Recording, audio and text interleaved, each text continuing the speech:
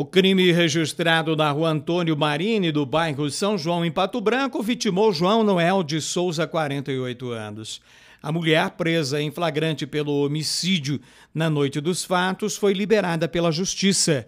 O delegado Helder Lauria, que preside o inquérito, falou sobre as investigações. Estamos fazendo algumas diligências para é, terminar este inquérito, só que no dia seguinte ao crime, o judiciário acabou soltando a, a autora, né, a suspeita, pelo, pelo fato de não estar presente nenhum dos requisitos da prisão preventiva. Foi homologada a prisão em flagrante feita pelo delegado de plantão, porém existem os requisitos do artigo 312 do Código de Processo Penal sobre a prisão preventiva, que seria para mantê-la presa. O juiz entendeu que nenhum deles estaria presente no caso e acabou por soltá-la.